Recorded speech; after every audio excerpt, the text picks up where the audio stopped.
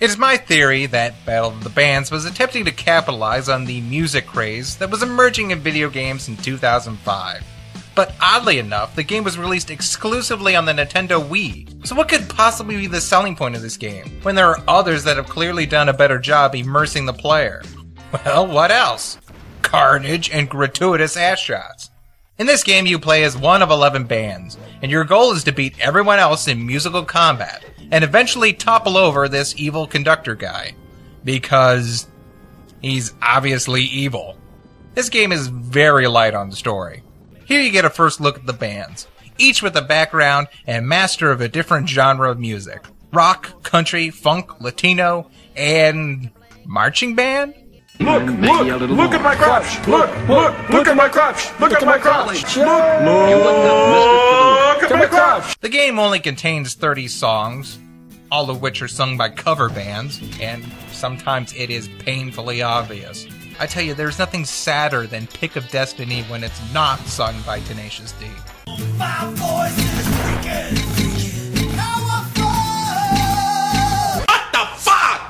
The goal of each match is to pretty much get a higher score than your opponent. But your secondary goal is to control the song the longest. You see, as you battle, the songs will switch between the genres of the bands. This is why I always go for the country band. First, that little piece of eye candy on the fiddle. And second, hearing the country cover band perform all these different songs is the biggest laugh this game will provide. Been here for years, rocking my peers, putting suckers in fear, making the tears rain down like a monsoon. Listen to the band. Shake it, shake it, shake your ass to my Ricky too. That I'll explain. A like me is going. Insane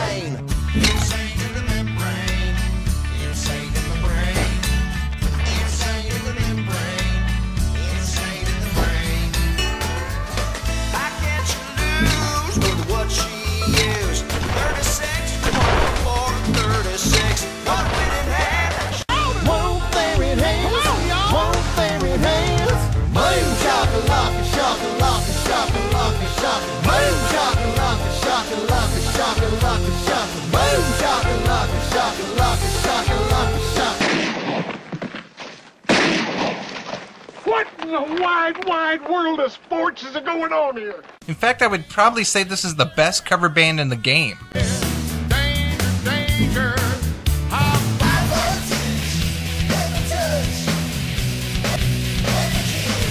Well, if they wanted to fill me with an overwhelming urge to open fire on the performers, mission accomplished. Now, in Guitar Hero fashion, you get a scroll that signals the actions you need to take. Unlike the other series, strumming on a plastic guitar has been converted to movements on the Wii remote. Following the pattern, you'll flick the controller left, right, down, or rarely, a stab forward. Oh, and these zigzags. By God, I hate these zigzags. Might as well tell you now that the control response to this game can be shonky at times, and I can never get any of these bigger zigzag fields. Okay, so we covered the music half of the game. What about the fighting half? Well, for every number of notes you play, you automatically launch an attack against your opponents, raising your score or distracting them from raising theirs. There are three types of attacks. All of them have this kind of little animation that flies at the top of your opponent's scroll. And while that's going on, one of your actual band members will have a little attack animation.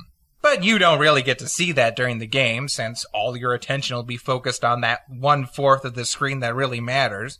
And I should tell you not to worry if you lose control of the song. It doesn't mean you're losing. In fact, even if you're doing great, you'll lose control of the song over time. And whenever your opponent manages to land an attack on you, the song switches. It's just a gimmick in the game that makes you listen to the two versions of the song. Anyway, back to the attacks. First, you have a weak attack that is slow and does little damage, but it costs the least amount of notes. Then you have a stronger attack, which is fast, does a lot more damage, but costs more. And then you have special attacks. As you progress in the game, you'll be able to unlock stronger and stronger moves. Unfortunately, there is no level system or anything. It's just that every so often you'll beat a band and get a new weapon. And although there are 11 different bands, many of these special attacks are shared, so no one band has a truly unique set of maneuvers. Ignoring that disappointment, there are some interesting abilities, like smoke screening your opponent's scroll, deploying an electric field that shocks you if you get too close to the sides, planting landmines under notes, moving the notes, changing the speed of the scroll, or even freezing your controls completely. Another reason I chose my band is because it seems to have some of the best specials. When you start the game, you have a time bomb maneuver. It's basically a game of hot potato. Hit enough of the green notes to send the bomb to the other team. They then have a chance to send the bomb back to you, and then, well, you see where I'm going with this. Now, your attacks automatically launch whenever you get enough notes, but you do choose which of the attacks you want to launch by toggling the A button or using the up and down on the directional pad. I'm telling you to use the directional pad only because the A button rotates it in one direction, and you can easily make the mistake of selecting the wrong attack. Although it doesn't matter, you'll jerk the control around so much, not realizing you're hitting the button anyway, and you won't know what attack you're using. Now, what's the real difference between a slow and fast attack? Well, actually, that's when a defensive move does come into play. You can block your opponent's attack for a split second when you hit the B trigger. A force field pops up around your score. Naturally, these slower attacks are easier to block than the fast ones. Oh, and you can't block special attacks, which makes them even more special. Occasionally, normal gameplay will be interrupted by this little solo mode, where each note you play will launch an attack. Right here is where you'll really need to learn the block timing. Other than that, you can pretty much just focus on playing the notes. However, after you play about 30 minutes with the Hillbillies, you'll unlock the Ricochet special. That's where you not only block an opponent's attack, but you can send it right back at them. I can't tell if I'm doing double the work or the same amount, but it's a strategy that pretty much breaks the game from here. This game also likes to stretch itself out through costume changes. What? No! I did good! You should be taking clothes off, not putting more on! How do you go from Daisy Dukes and a hillbilly broad to Whistler's mother? What was I saying? Oh yeah, there are basically three acts to this game. You beat all the bands, then you beat the big baddie. Then you beat all the bands again, then you beat the big baddie again. Then you beat all the bands. You see where I'm going with this, don't you? And for a game that has such little plot, it is really heavy with dialogue between battles. Some of it, mm, I guess, is kind of amusing. And this is the only game I know that is constantly telling you not to play it. In between rounds, a little message pops up telling you to take a break. It's like they knew not only would all this shit flying around on the screen strain your eyes, but the fact that your wrist will feel like it's falling off after about two songs. There is almost no replay value to this game because, frankly, you've replayed the game several times to beat it. Aside from listening to all the different songs and the various styles and maybe seeing how all the different bands perform their attacks and celebrate their victories, there's not much here. And that stinks because I like the core concept. This game was made by THQ, which has been very experimental with gameplay. But unfortunately, they tend to start with a really interesting idea, but then rest on their laurels, letting the game coast on what has become a gimmick. And yes, I'm planning on finishing Quest 64. But while we're on the subject, 1998, 2008. 1998, 2008. 1998, you see where I'm going here. But to be honest, I think the best thing for this game is a sequel. Say what? I mean it. Remember Street Fighter? Of course you don't, because that game was sewage compared to Street Fighter 2. It took the original and improved every aspect ten percent. I would love to see what would happen to this game if that happened. Introduce a better combat system with more types of attacks and maybe an actual upgrade system. These guys are basically Highlanders. Why not set up a system where you can weaken a band by eliminating a character or two? And work in some Paper Mario 2 where the number of fans affects the gameplay. And maybe you can customize both the attacks and the players with an item system. I want to choose between a guitar that shoots bullets and a guitar with a Tesla coil. I want a rhinestone jacket that gives me plus 8 charisma and reduces all fire based attacks by 20%. Or better yet, someone just adapt 6 string samurai already. Nice tuxedo. Nice tuxedo to die in.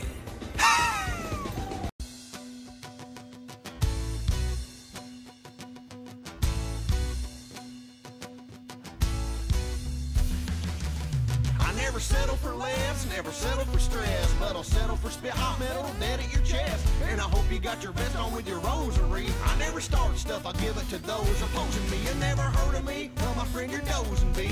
All the homies in the hood, they've all chosen me. Cause when I spit it so real, they relate to me.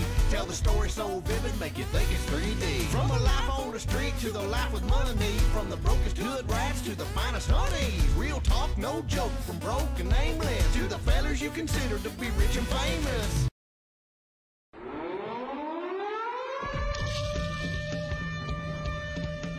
In 1957, the bomb dropped. The last bastion of freedom became a place called Lost Vegas. And Elvis was crowned king. Now his only heir has died, and Vegas needs a new king.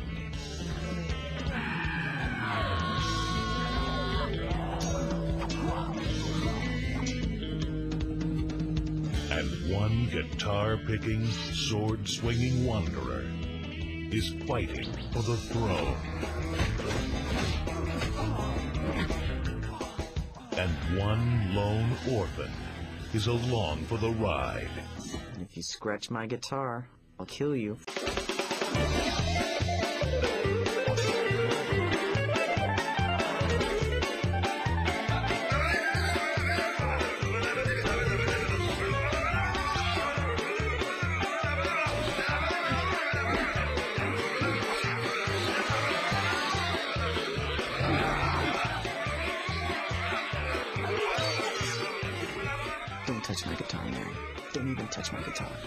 They called him the Six String Samurai, and he became a legend. Jeffrey Falcon, Justin McGuire, Six String Samurai.